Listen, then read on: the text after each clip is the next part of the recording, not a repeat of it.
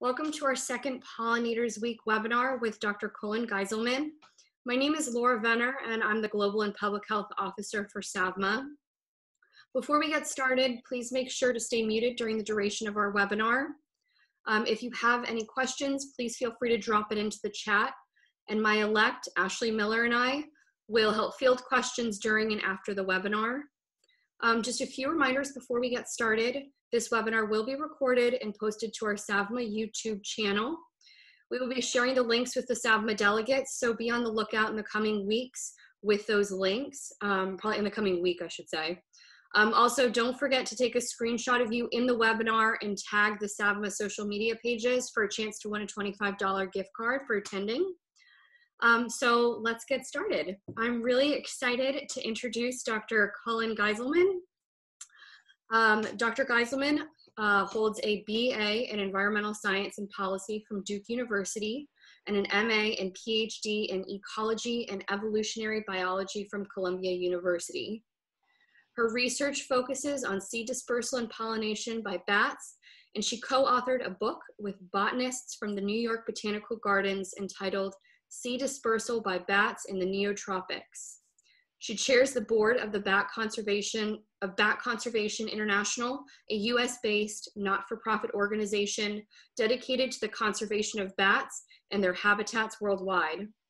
She also serves on the board of directors of the Houston Zoo, the Houston Arboretum and Nature Center, the Houston Parks Board, the Houston Advanced Research Center, and the Turtle Conservancy. Dr. Geiselman curates the Bat Eco Interactions database, which catalogs all published interactions between bats and other organisms to facilitate scientific research on bats, their diets, and the ecosystems uh, they serve to provide. In addition to her bat research and board duties, she is the acting director and board chair for the Cullen Trust for Healthcare a support organization funding healthcare related initiatives in the greater Houston area. So please welcome Dr. Geiselman. Dr. Geiselman, I am going to pass it off to you. Great, thank you. I'm really excited to be here and y'all have to bear with me. This is the first um, PowerPoint I've ever given on Zoom. So I'm, I'm excited, but hopefully you, this will, and holler if there's no, there's um, any issues. And I'm thrilled to be here to speak with you today. I um, am an animal lover, meaning I'm a vet lover because I um, see my vet a lot. I have some old animals. And I'm also very involved with Houston Zoo, where I get to hang out, and it might be the coolest job ever to be a zoo veterinarian. Um, anyway, they're amazing people doing really amazing work, and I know you guys are all um, uh, incredible to be able to actually be in vet school right now. That's um, it's not easy. I feel like it's harder to go to vet school than to actual medical school, is my understanding. So must be a smart group here. Um, and please put your questions in the chat box. I can go, my presentation isn't super long, but I am, um, and I'm happy to go back to the slides and we can talk about different stuff and I can expound more if you, if you would like. So here we're gonna, I'm gonna kick it off here and going to share my screen here. And hopefully get my, get all this up and going. And um, anyway, so happy um, to uh, to be with you for this National Pollinator Week, um, celebrating our pollinators. And we were discussing um, before the call started, or webinar started, about uh, how important it is to start incorporating some of these pollinators, particularly honeybees and, and other animals that are domestic animals um, that are pollinators in your work. And so um, I'm here to talk to you about an animal or animals that you probably will not see very often um, in your vet practice, but you might if you get more into um, working uh, uh, in outside of your basic domestic animal work. So, and there's lots of opportunity. I've had some interesting colleagues in Rwanda that work with uh, gorillas that are veterinarians um, and many others that are really important. Actually, some of the bat researchers I know are veterinarians and have gone on to um, focus in this One Health initiative, which obviously is a really interesting thing to do right now given the emerging coronavirus and pandemic. So anyway, as, as um, I was introduced, my name is Cullen Geiselman, and I did and do study bats that pollinate plants. And I'm entitled my talk nectar feeding bats, the hummingbirds and sunbirds of the night. And that's mainly because a lot of people don't associate bats with pollinators. And usually when people think of bat or think of pollinators, they think of butterflies and they think of particularly bees and maybe even hummingbirds. And what I love about this particular image is that um, they did a stamp back in the late 90s, a pollinator stamp, probably when a lot of this pollinator, the National Pollinator Week was being kicked off. And they actually included bats. And we, as bat people, um, I was working for Bat Conservation International at the time, were really excited to um, for people to know that bats are pollinators. And just as I don't, I need to remind any of you, but a pollinator is essentially um, an animal that visits a flower and gets pollen from the male part of the plant, the stamen attached to it somehow, and then goes on to another plant, flower of the same species, usually on a different plant, and deposits that pollen inadvertently on the stigma or the female part of the of the of the plant, and in sense moving the pollen from one plant to another, helping the plant to reproduce. So a lot of people don't think of bats doing this, and that's usually because A, it's happening at night, usually B, way above where we um, can see up in the canopy of many trees, and C, usually in the tropics. So most of us are not out night at out at night in the tropics in a tree canopy, so you don't really get to witness this behavior a lot. Um, uh, but indeed, bats are some important mammal pollinators. Um, and some of these plants that I'm going to speak with you about are um, important ecologically, whether they're in rainforests or deserts. Also, some are very important economically for people. And this is again occurring in the tropical and subtropical parts of the Americas and Asia, Africa, Australia, and some South Pacific islands, where bats are the only native land animals in many places. So um, they're they're functioning in many different ways. And just to iterate, reiterate the tropical phenomenon, here is a screenshot from my website, Bat Eco Interactions, um, that is cataloging all these different interactions among bats and, and other um, other animals and plants and all other living things. And you can see, I'm not sure if you can see my cursor or uh, my, my pointer here, that all of these are interactions with uh, known published interactions of bats and, uh, and plants as as, um, as either the bat is visiting the flower for nectar or is actually known to pollinate it. And so you can see this is mainly happening in the tropics. So to the hummingbird and sunbird part of my talk, um, since so few people don't know about bats as pollinators, I like to talk and sort of get people up to speed by referring to hummingbirds. And I assume most everyone here knows what a hummingbird is. You've seen them in action, you've seen them somewhere. And, um, you know, they're these little feisty animals that buzz around and have like 400 heartbeats per minute or something crazy. Anyway, really amazing animals. And, um, and what I think is very cool is that we do know a lot about hummingbirds. We live here in the United States. Hummingbirds are only found in, or I guess maybe some people on this call are from other parts of the world. Um, they're only found in the Americas, or what ecologists and geolo- uh, geographers refer to as the New World. So the um, the essentially the Americas, and they have a specialized diet on and special adaptations for feeding on nectar. Though many of them also eat insects, and so they have these long bills and long tongues, and they're very small, and they're able to hover. Um, and interestingly enough, over in the old world, which is Asia, Africa, Australia, um, they there is a different type of bird called a sunbird, and it too has a long specialized bill. It has long tongues. They're generally smaller in size, um, but unlike hummingbirds, they do not hover. And hummingbirds and sunbirds are not actually at all closely related, related evolutionarily. Um, however, they've come to these similar, look similar, and, fun- and, and function in a similar way because of this nectar feeding lifestyle due to convergent evolution. And as you might expect, the same thing is actually happening in our nectar feeding bats. Um, so there are approximately 100 different species of bats out of the nearly 1,400 species known around the world that visit flowers for nectar, pollen, or sort of these fleshy flower parts that they eat. And again, this is mainly in the tropics. And these species are divided into two families of bats. Those in the old world um, are called, are, are part of a family called Pteropodidae, which is a group of vegetarian bats that are re- restricted to the Paleotropics. And 38 species from 17 genera in this family have been reported to, to be visiting flowers. Now, over in the New World, over in the Americas, there's a different, a different group of nectar feeding bats, and they're all from one family called the Phyllostomidae, which is actually the New World leaf-nosed bat family. And this is a group of bats that in some are insectivores, some are omnivores, some are frugivores, some are carnivores, others are sanguivores, the vampire bats are in this family. And then you have some nectarivores. Um, and again, these are all bats found in the neotropics. In 58 species of these New World leaf-nosed bats, um, of 29 genera have been reported visiting flowers. Um, and despite having um, a nectarivorous um, lifestyle, again, these families are not close closely related.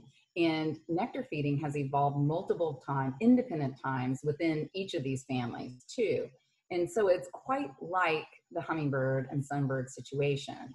And many of these families are pretty old. The old world fruit bats are, are approximately, the family's been around for approximately 56 million years, where the New World family has been around for um, maybe 39 million years. Um, and so over time, they've, they've evolved to um, take on different feeding um, styles. Whoops. So what's also interesting, I now this is a slide that you can see what some of these cute little bats, I think they're cute, um, what their faces look like. And um, for the most part, the flower visiting bats and the Pteropodidae are larger um, and, uh, and they can anywhere range in size from a thousand grams, which is about 2.2 pounds, while those in the New World group, the Phyllostomidae, weigh anywhere between 50 and 100 grams, sort of less than two ounces. So they do, they're quite different in size in most cases. Um, and interestingly, the bottom squares, the bottom two squares on both sides are, um, are, are, are opportunistic nectar feeding bats. These bats don't particularly have um, uh, specialized anatomy for nectar feeding. But what's also interesting is that um, despite that, some of them are the are more important pollinators um, because they're very directional. They only visit a very few number of plant species, and um, and so increased morphology for a feeding adaptation such as nectar feeding bats doesn't actually make bats these particular specialized bats better pollinators. It just makes them better adapted for intaking nectar. Um, with their, you can see the ones up at the top, those top four squares, where they have elongated snouts and um, they that support and an elongated tongue um, in many cases. One nectar bat that was discovered maybe 10 to 15 years ago in Ecuador has a tongue that's a third the length of its body and it sort of stows it down in its chest cavity. It's really quite an amazing. And as far as it's probably the mammal with the longest tongue and compared to its in relationship to its body, really amazing. We adapted plant uh, bat, but it only visits a few um, plant species. So, um, so it's really I find all of that really uh, very fascinating. Um, and and so, what does it really look like? And now I'm going to have to actually I can't figure out how to do this video in my actual PowerPoint. So we're gonna, I'm gonna bring up another, um, another screen to show you the video. Let's see. Do this right.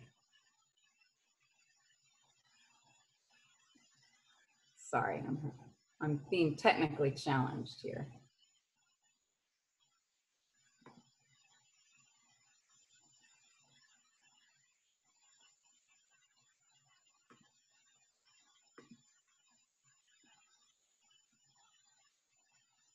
Can we help you?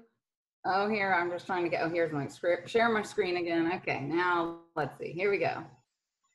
Now Can you see that? I'm gonna play a video. Now, before I play it, the, you'll see the little arrow. Can y'all see the little arrow pointing at what looks like some green beans?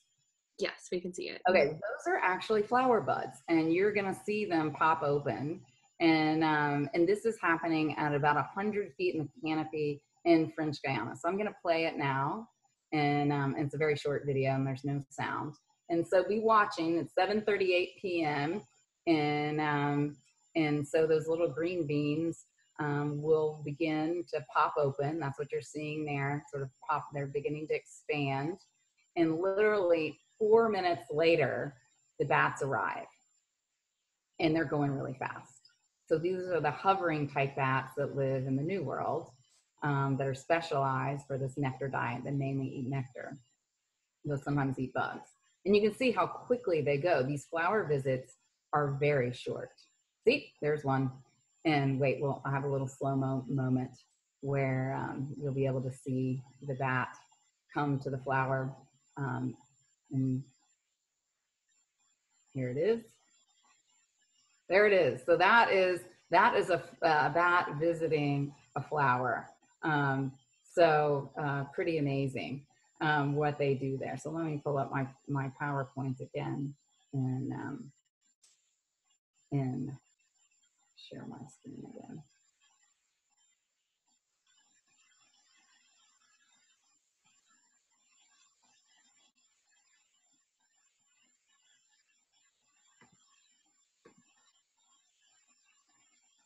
Okay, so what does it look like to make this to make this video. So I made this video when I was doing my PhD in um, in French Guiana in 2000. This video is from 2007, 2008.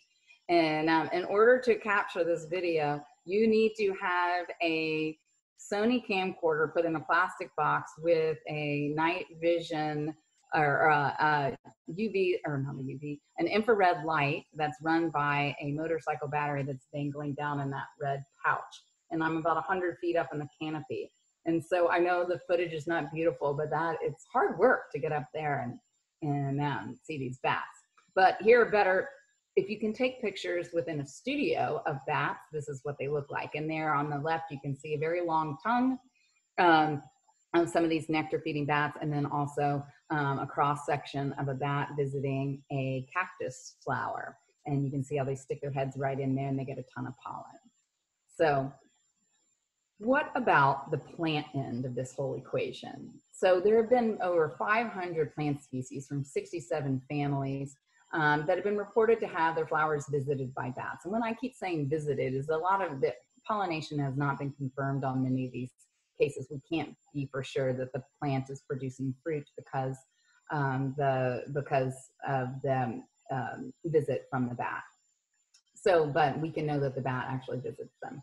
So um, so 500 plant species from 67 families. Well, that's that's um, that have been witnessed by people. Um, and so that seems like a lot until you realize there are over 200,000 known species of flowering plants in the world. So the numbers of plants that are actually relying on bats for pollination is somewhat small. Um, but um, there's a, quite a diversity of them. But what's interesting among many of these plants is that they um, all start looking, they all have sort of similar features um, despite being not being closely related. And so that's mainly because they're all attracting um, large nocturnal colorblind flying pollinators. And so that means many there's sort of what we call a pollination syndrome. So that many of these plants, um, they might have white flowers that are very easy to see at night. Um, they or they could be drab in coloration. So if you see uh, the um, image that is sort of a reddish looking flower um, and you can see a wood background that's actually the flower that was in the video the showy mistletoe um, that's pollinated by bats um, anyway they, they, they can be drab in color. Um, they frequently are either cup shaped or have sort of a ball of stamens.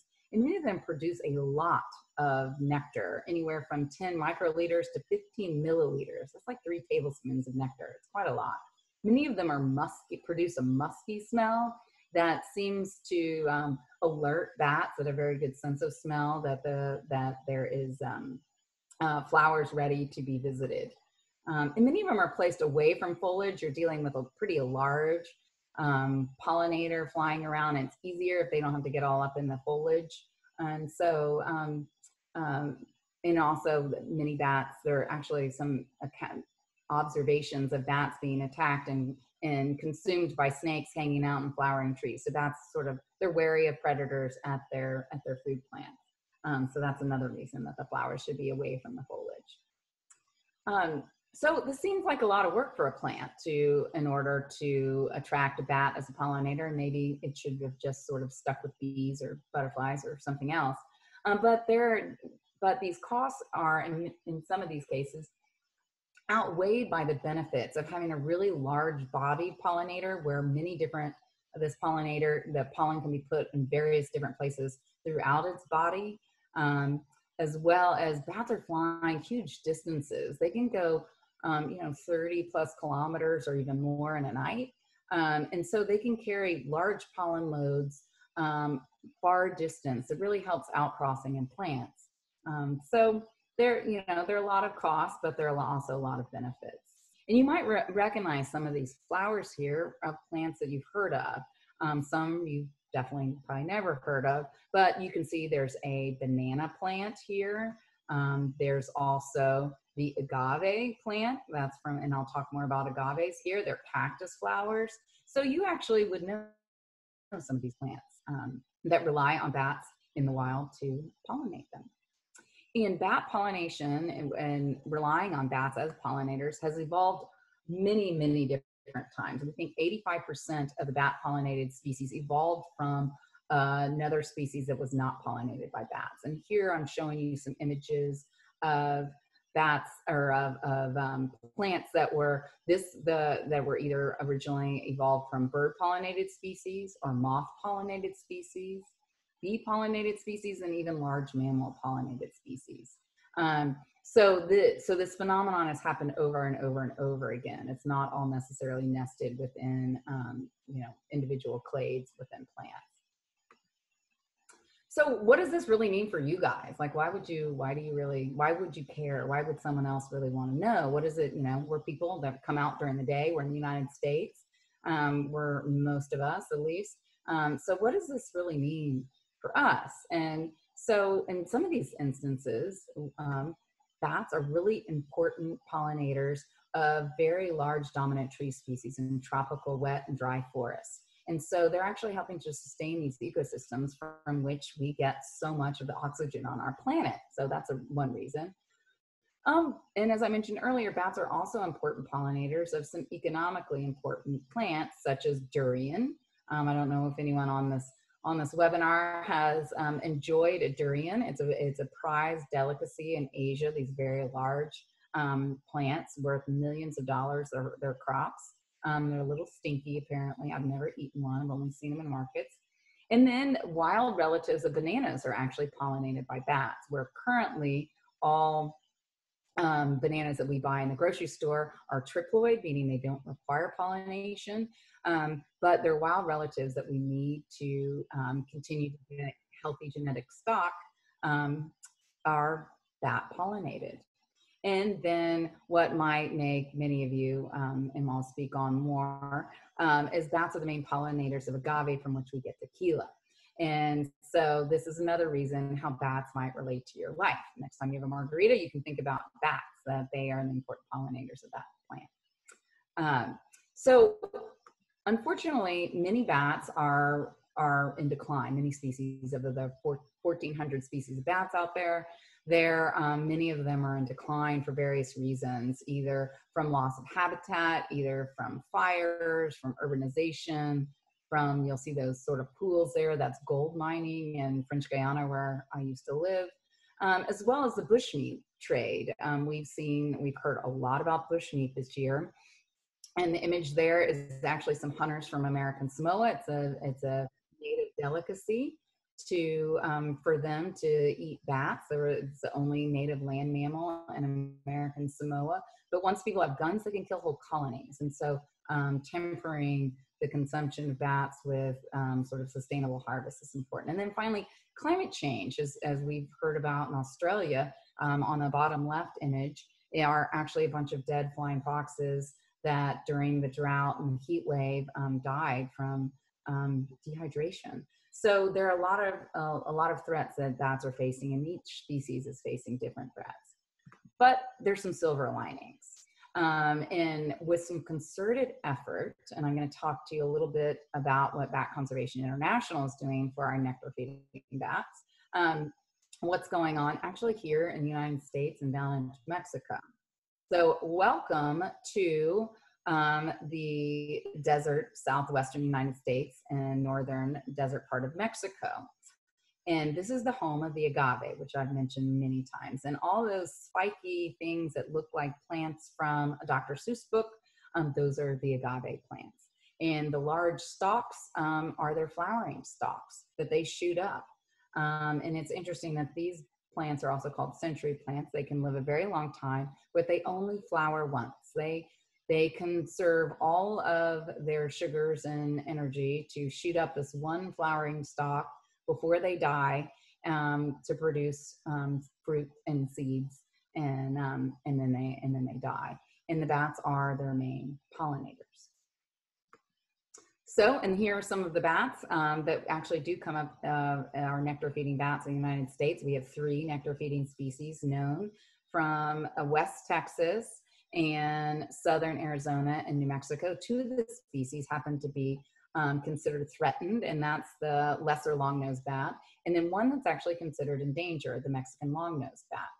And they follow the blooming of the agave up, and you can see on this map their range. And so they follow as species of agave bloom up into the United States, and then they come back down um, and return to Mexico for the rest of the year. It's sort of what we consider a um, a flowering corridor for these bats and a lot of them fly up into the into the U.S. to have their babies in the summer, and then they fly back down into Mexico. Um, and so, as I said, these are these are all cave dwelling species, and each mom, each female, gives birth to one young, which we call a pup, once per year during this um, migration up into the United States. Um, and so um, she's really amazing and can give birth to a young that's about the third the size of her body. And some bats actually produce a quarter of their body weight in a 24 hour period in milk, which is really amazing. Um, so, and they're great moms. And at night, they leave all their babies together in their cave roosts um, before the babies learn to fly. And then they go and fly out and feed on nectar of the agaves. And some they're flying, you know, 30 to 50 kilometers in a night. Many of them do what we call flock foraging. They actually fly together as groups um, and, uh, and find plants throughout the landscape and then return in the morning to their young to feed their young milk. And, um, and these are some of our nectar corridors. Unfortunately, some of these places, these corridors have been disrupted due to overgrazing, overharvesting of agaves, and other forms of habitat modification. So if the bats have too far to fly, um, to find agaves, they're not able to actually sustain their movement. Um, but Bat Conservation International and some Mexican collaborators are working to reestablish these nectar corridors where they have disappeared by working with local communities. And you can see on the right of the screen are actually baby agave plants that have been head started. And on the left, you can see the um, some folks from Bat Conservation International working with local communities and um, supporting their efforts to replant these had started um, uh, plants. And so here you can see some of the baby plants in the community down there planting agave um, so that uh, over time, again, these plants live for a very long time, will begin to grow up um, more plants. Um, in addition to the, the head starting, you also, we are also relying on conservation easements on key properties. And so people can be paid to maintain their agaves. And you know, they have their have a market drive to cut them down to make various products. And here instead we can pay them to keep the agaves in the ground. And both by planting agaves and developing these easements brings income to the local economies. Um, and um, they start stewarding their land for the agaves and, and also then for the bats. So um, over the next decade, we hope and our plan is to plant a million agaves to maintain these nectar corridors. And so it's good for bats and it's also good for people because agaves help hold the soil, which decreases erosion. They provide food for other animals. And, um, and they're also important part of the local communities that make their traditional drink mezcal and tequila from agave. So we want to be able to sustain those efforts. So here's the, the fun part how you make tequila or and mezcal. So on the very left of the screen, you can see the basal rosette of the agave plant. And there he, there is a man that is, um, has cut down the stalk. In order to concentrate the sugars into the basal rosette of the plant, they have to cut down the flowering stalk before it flowers, which means no food for bats. And so um, and so, and then just following along, you can see in the next image, that is the piece of the agave plant that the man then boils down.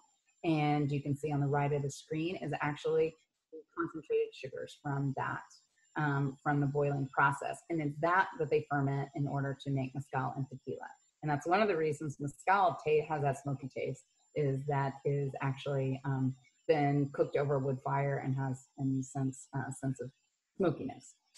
So how do we balance the production of, of tequila and mezcal with promoting that habitat if in order to make the tequila they actually have to cut down the flowering stalk before it actually flowers and here's where our collaborators at the university of mexico come in because they are working with small producers to actually produce bat friendly tequila and this is tequila where the producer allows at least 5% of his crop to flower every year in a sense, provides food for the bats. And, um, and then he can market his tequila with a special little sign, bat friendly um, tequila. And so he can market his tequila for a higher price, um, mainly in the United States, but also in Mexico. So you can look up for these to find out what are bat, what bat friendly tequilas you can purchase. I purchase mine sometimes from Total Wine by looking up at the Tequila Interchange Project. You can find out um, more about how to get yourself some bat friendly tequila. So it's a, it's really a, you know, a win-win for everybody. So it's a win-win for the various bats and a win-win for the people in Mexico. And so we're really proud of that project. Um, and sort of a, a, a, sense of this one health initiative of uh, the health of the bats, the health of the communities there, and um, driven by potentially a market here in the United States. So with that, um, I wanted to say thank you um, for uh, inviting me to come and speak with you. And then I can stop sharing my screen or can go back to other other slides and take your questions.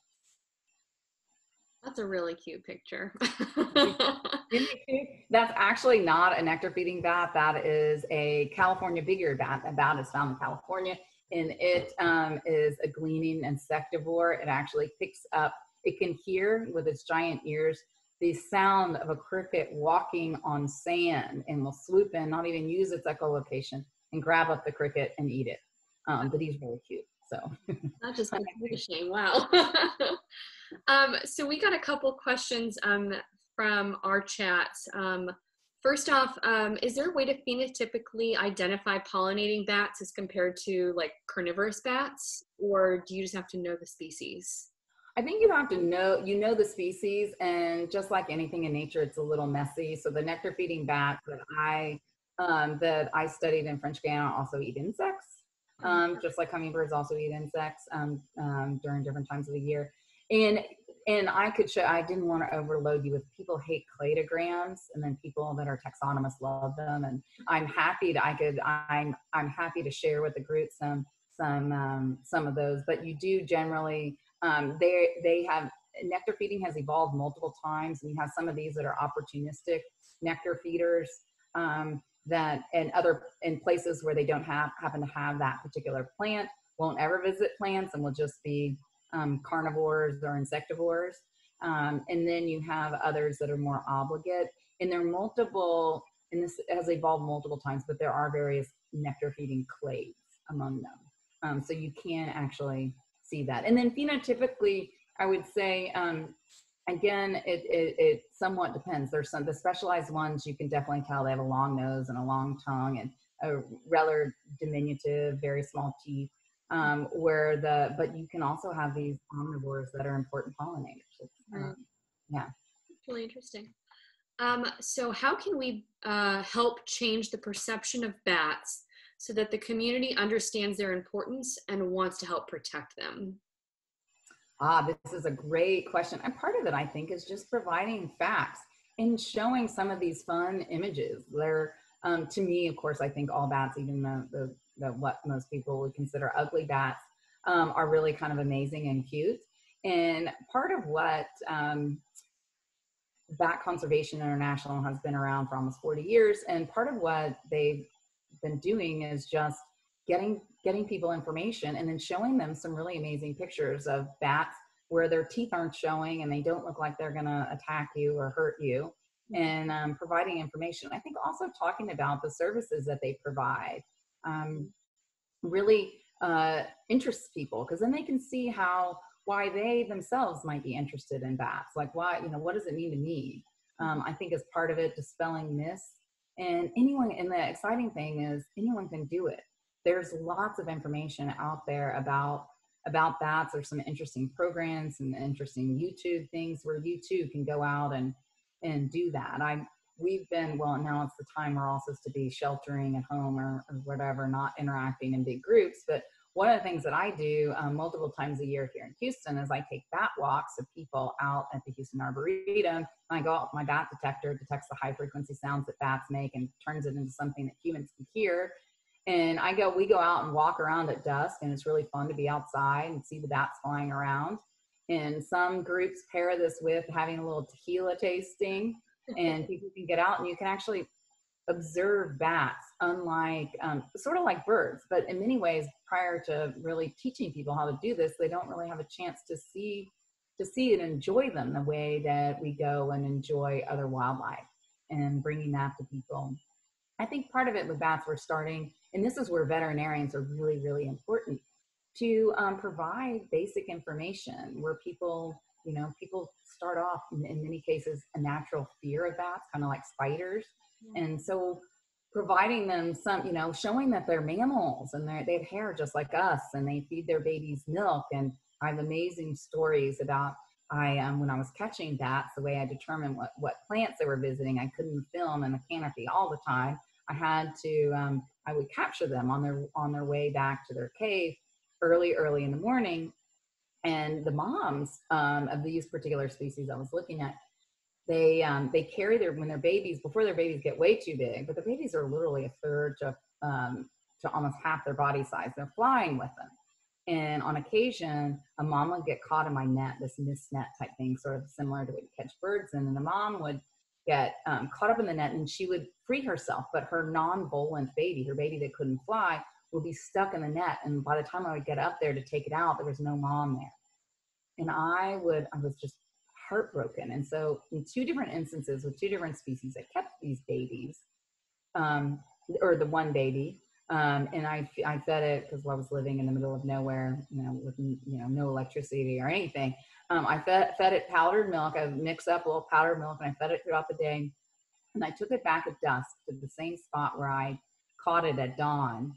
And lo and behold, in both instances, the moms remembered we're like a mile from their cave home the moms remembered where they lost their babies and they she came and found them and came and collected her baby and flew off and providing stories like that that we're like whoa that's so it's a mammal it cares about its young just like people care about their young and uh, i think providing those instances and, and sort of some interesting stories um, make people more interested and make it seem less scary and and and different. And I think people originally, before all this coronavirus stuff, used to be afraid of bats because of rabies. Mm-hmm. Um, and now we have to think about these other these other um, things that you should never. I guess you know vets. You have to tell people don't pick up wildlife. You know it's you know that's not safe for you or for the animal. And um, and being and informing yourself because you are frequently the first go to when someone has an animal question is they I imagine they call their vet they also call the zoo a lot. The zoo gets lots of funny calls. But guess who answers those calls? They're vets. Experience, yeah. yeah. You have to get stuck with answering those call, those questions. Yeah, absolutely. And I agree. I think it's so important to make sure that we're not just categorizing all of them into, you know, the carnivorous, the, the Halloween bat or the, it's the you know there's so many different types of species out there um, so we've got another question um, are these pollinating bats affected by white nose syndrome or are they not in the same geographic region Okay, this is a great question. So far, they are not in the same geographic region. And the interesting thing, I'm not sure how much you guys know about white nose syndrome. So it is an invasive species. It's a fungus, a soil fungus that most likely came over on the sole of someone's boot from Europe.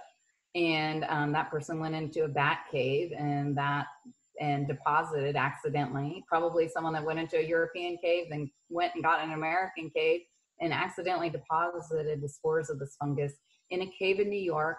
And we, we know exactly the epicenter where it started in Albany and, um, outside of Albany. And then this disease, this fungal disease, um, attacks bats that are hibernating. And so when a bat hibernates, um, these are only in temperate bat species, they drop their body temperature to that of their surroundings so that they can decrease um, their energy expenditure. So they don't, um, so their heart barely beats, they barely breathe, their immune system pretty much shuts down. And so this fungus just sort of starts eating their tissue. And in some ways, it changes their water balance um, as well. And so the bats wake up and they're, and it irritates their skin. And so every time a bat wakes up from hibernation, which they do multiple times during hibernation, and kind of reset themselves, um, they burn a lot of energy, a lot of their fat reserves.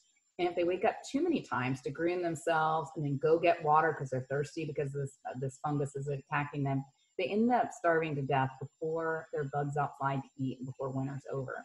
And so this fungus has been actually predominantly spread probably by bats. We first were really worried that it was being spread by people going into caves and then going into other caves. But the, the caving community and a lot of the bat scientists really cut that down. And so people are, it's mainly now being spread by bats because bats move around. That even bats that hibernate frequently migrate in order to hibernate. And so they're moving this fungus around.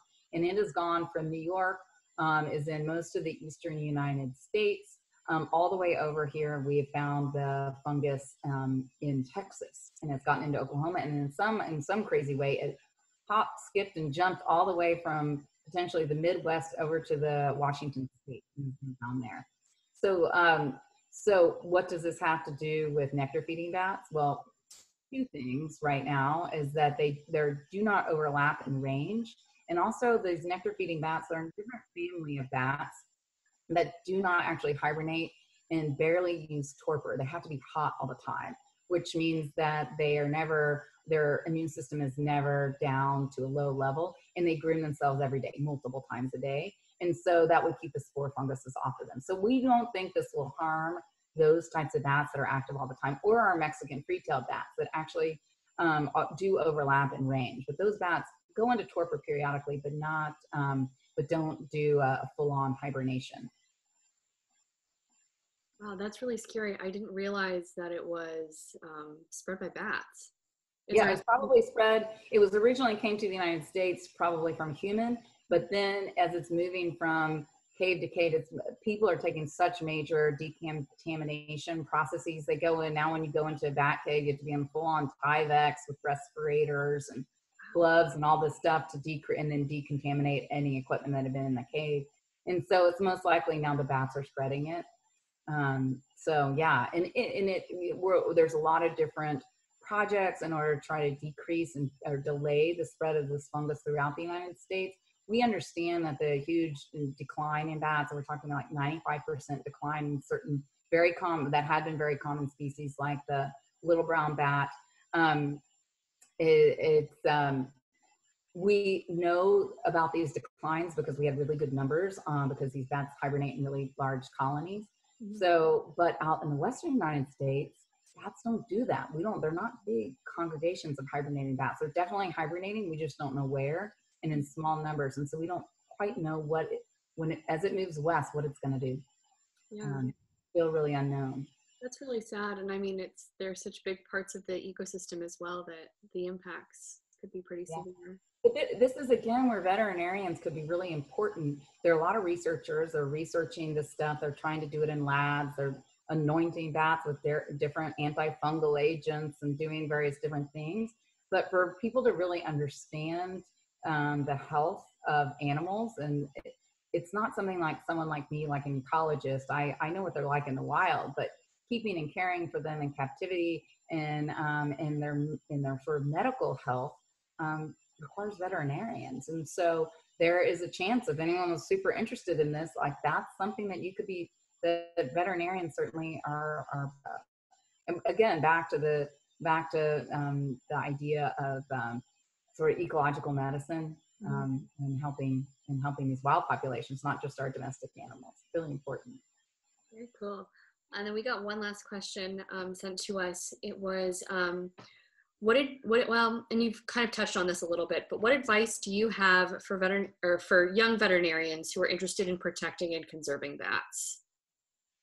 Well, again, I think educating yourself, and there's huge amount of potential. I mean, again, I work with veterinarians in other parts of the world that are part of this uh, of these One Health programs. And so, if that is somewhere where you thought you might want to go in your studies, I would definitely look into. I think it's a big.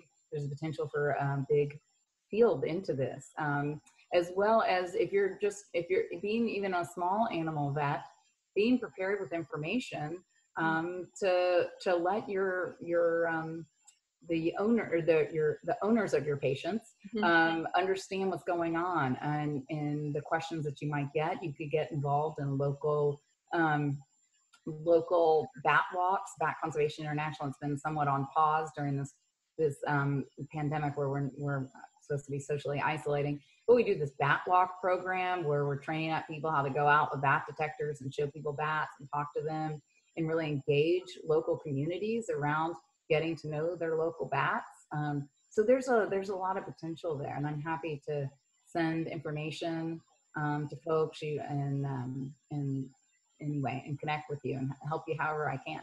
Absolutely. All right. Well, if there are no more questions, I don't see any more coming into the chat. Um, well, thank you so much, Dr. Geiselman. This was really a fantastic talk, and I feel like we really learned a lot about bats and how, just their biology and how we can support them. This is really great. So thank you. Well, good. Well, thank you all and good luck with all of your studies. It's hard work. I'm so glad you guys are out. We need you. So, um, and again, if you, you're, um, the, uh, your, the folks host, hosting this um, series know how to get in touch with me. I'm happy to answer additional questions or help you with resources or any of that. Happy to do it. All right, well, absolutely. Well, you're welcome to email Ashley or I if you guys um, would like to connect. Um, so thank you so much.